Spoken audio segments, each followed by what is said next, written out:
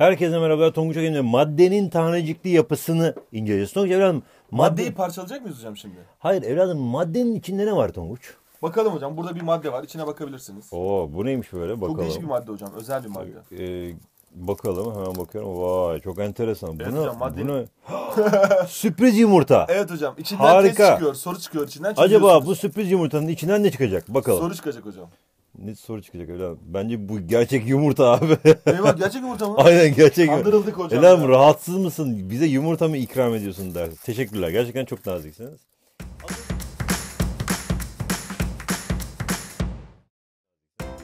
Atomun yapısında da Tonguç aynı yumurtanın yapısı gibi olduğu gibi bir çekirdeği var Tonguç'cum. Bir de dış katmanı var. Aa. Bu dış katman dediğimiz zımbırtılara biz yörünge diyoruz. Hani atom böyle havalı bir şekilde çiziyorlardı ya eskiden. Oo falan filan. Hocam ön yargıları parçalamak atom parçalamaktan daha zordur. Ya hep aynı lafı söylüyorsun kafayı yedi. Bak atomun çekirdeği burası. Çekirdeğin içinde artı yüklü protonlar var Tonguç.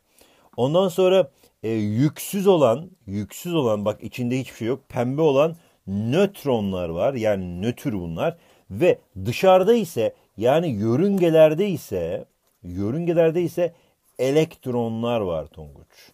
O zaman 3 çeşit bak onlar da elektronları eksi yüklü. E, E'den aklına getirebilirsin. O zaman atom yapısında 3 tane atom altı tanecik varmış. Plus proton, Proton. elektron eksi. Vay çok havalısın evladım. Atomla ilgili gelişmelere baktığımız zaman ilk defa atom kavramını kullanan Demokritus. Demokritus düşünmüş, aa atom diye bir şey olsun demiş. İşsiz ya. Aynen bak oradan daha eski Yunan'dan gelmiş atom kavramı. Zaten zenginmiş hocam eski Yunanlar. İşsizlikle uğraşmışlar. İnsanların başında ne kadar böyle sıkıntılı ders varsa hepsini onlar Saçma mı? Ondan sonra karşımıza kim çıkmış biliyor musun? Dalton çıkmış Tonguç. Dalton demiş ki ya atom demiş Demokritus demiş ama ben bunun içini doldurayım demiş. Ve demiş ki evladım ne düşünmüş Tonguç? Dalton hop. Atomun bölünemez en küçük parçacık ve yüz yuvarlak bir küre olduğunu söylemiş. Yani bölünemez Berk, Berk demek bölünemez demek. Berk küre olduğunu söylemiş. Aa. Ve çok enteresan bir şekilde atom altı tanecikleri hiç düşünmemiş bile. Halbuki atomun içinde atom altı tanecikler vardır.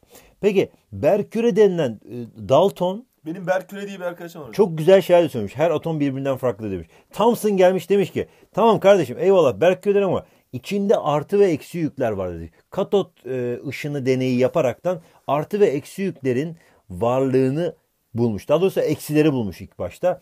E, ve ardından Rutherford gelmiş demiş ki ya kardeşim hepiniz çok iyi söylüyorsunuz ama artılar ortadadır demiş ve yoğun bir şekildedir.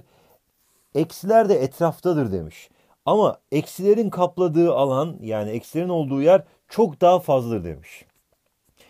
Rutherford da güzel şeyler söylemiş. Atomun çekirdeğinin ne kadar küçük olduğunu ve çekirdeğin içinde artılar bulunduğunu söylemiş. Bohr atomu modelinde ise artık demiş ki hepiniz çok güzel söylediniz ama ne kadar iyi insanlarsınız ama eksikleriniz var. Ben kapatacağım demiş. Ve Bohr ne demiş evladım?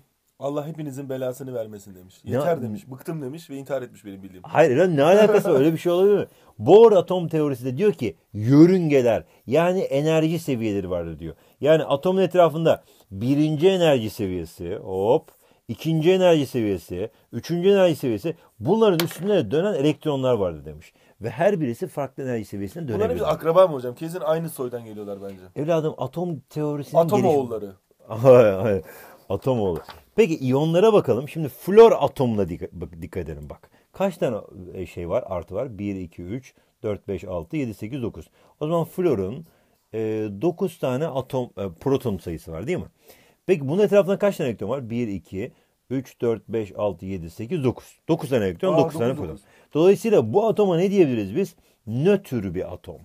Neden? Eşit olunca nötr oluyor. Çünkü artılarla eksiler birbirine eşit. 9 proton var, 9 elektron var. He. Şimdi dikkat edelim. E, bu adam bir tane elektronu dışarıya verirse. Yazık zavallı. Bir elektron kaçta gitti. Sonra ne yaptı? Zavallı bir şekilde kaldı. Yine kaç tane bak. 9 tane protonu var. Ama burada kaç tane elektronu var Tonguç? 1, 2, 3, 4, 5, 6, 7, 8 tane var. Hayda. Tabii bunu yanlış yerlere çizmiş ama ne işimiz var çayda. Neyse bu saçma sapan bir şey olmuş. Yanlış. Ama kaç tane elektron var? 8 tane elektron var. Dolayısıyla proton sayısı büyüktür elektron sayısı oldu. Burada 9 tane var, burada 8 tane var. Ve ne haline geldi bu? İyon haline geldi. Flor 9 tane proton, 8 tane elektron olduğu için artı yük. Bu ne be? Aa bir dakika. Yanlış bir şey yaptım galiba. Ee, bu elektronu vermiyor Tonguç. Bu sefer tam tersine alıyor diyelim. Buradaki iki elektron da burada bulunsun. Tamam Ha, mı? içine çizmemiş o yüzden. Bunu tam tersi yaptım ben. O zaman diyoruz ki bu sefer almasında ver, e, vermesinde alsın tamam mı? 9 tane proton 9 elektron vardı. Çünkü flor için almak daha önemli. E, bir tane daha elektron olunca 10 tane elektron oldu. Şimdi ne olacak Tonguç 10 tane elektron Elektronlar olunca? fazla. Süper. Elektronlar fazla ve kaç tane fazla? Bir tane fazla. O yüzden eksi bir yükünde oluyor Tonguç. Ha şu pembe ışıklı olan yeni geleni kastediyor. o zaman. Yeni gelen bir İçine elektron. iki tane koymamış hocam o yüzden öyle olmuş. Ha. Burada iki tane, iki tane vardı Tonguç'um. Ardından etrafta da 8 tane var. Toplam 10 tane var. 10 tane elektron olduğundan dolayı elektron sayısı daha fazla olunca eksi yüklü oluyor diyoruz. Mesela sodyuma bakalım. Sodyumda ise sodyum kaç tane protonu var? 1, 2, 3, 4, 5, 6, 7, 8, 9. 11 tane protonu var Tonguç. Bu 11 tane protonun etrafında da 1, 2, 3, 4, 5, 6, 7, 8, 9, 10, 11. 11 tane elektron var. Burayı anladık mı? Proton sayısı elektron sayısına eşittir. Peki bu adam eğer bir tane elektronu yani şu zımbırtı elektronu verirse elektron verirse ne olur Allah aşkına? Bak iki tane 8 tane de burada 10 tane elektron olur. 10 elektron ama 11 protonu çekirdeğin içinde olduğu için hiçbir zaman değişmez. Dolayısıyla protonlar elektronlardan daha fazla oldu. O zaman sodyum enteresan bir şekilde artı yüklü hale geliyor. Kaç tane fazla proton elektrondan? Artı bir daha fazla olduğu için artı bir yüklü haline geliyor. Bu da iyonların oluşumu diyoruz. Burada şunu bilelim. Ee, Elalım atomun yapısını biliyor musun evladım? Bak. Biliyorum Atomun hocam. yapısı. Nedir atomun yapısı? Burada bana. hocam atom. Doğal, sağlıklı, enerjik e, Bu ne enerji lan? bombası. Aa. Atom bu değil mi hocam? Elalım saçma. Atom bu içecek atomu. Saçma. Pardon. Hay Allah. Bir kere şunu unutmayacağız ben Tonguç'um. atom içiyorum diye Bak seviniyordum. bu adam artı yüklü olduğu için biz buna katyon diyoruz. Demin de ne yapmıştık? Flor için flor eksi yüklü olduğundan dolayı ise biz buna anyon diyoruz. Anyonlar eksi yüklü, katyonlar da bak katyonun içindeki T harfi var ya şöyle yazılsın artı yüklü. Hocam onunla Anlaşıldı alakalı mı? bir şiir yazdım size. Saçma. Anyonlar eksi yüklü, katyonlar artı yüklü, kamyonlar karpuz yüklü. Aa inanılmaz. Saçma Gerçekten çok güzel. Bak moleküllere baktığımız zaman moleküller aynı atomdan oluşabilir. Hidrojen molekülü. Mesela NN yani N2 yani azot molekülü diyebiliriz biz bunlara. Bunlar aynı atom oluyor. Veya moleküller farklı atomlardan oluşabilir. H2O. Bak iki tane H var bir tane O var. Yani su molekülü diyebilirsin.